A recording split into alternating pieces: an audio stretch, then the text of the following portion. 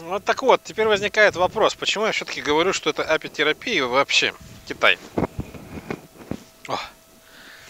Это когда мы уже делаем шашлычок на следующий день. Так все достаточно просто. Я просто переговорил э, с теми людьми, которые занимаются пчелами.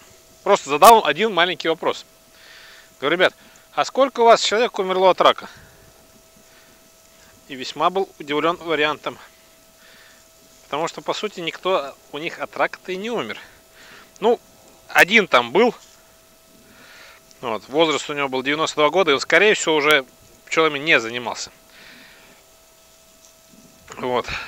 Почему мы не делаем это в России? Мы можем делать это в России, но не каждый из вас будет работать с пчелами. Не каждый. Вот. Теперь вариант, почему мне необходимо все-таки туда апитерапевта привести. Я уже говорил, в принципе, да? То бишь, чтобы он своими глазами понял, как все это делается. Вот. И вам показал, как с этим работать. Мне говорят, ну, наши же апиотерапевты крутые. Говорю, так, ну, крутые, почему бы и нет? Но есть же понятие такое,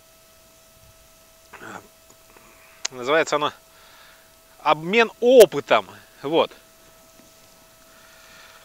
Просто обратитесь туда, посмотрите. Может быть, они чуть-чуть круче с вами работают. Потому что, ну, поймите, да, Россия странная страна, да, у нас по большей части холода стоят невозможные, да? А как так, чтобы было все вкусно? Не получится. Не получится.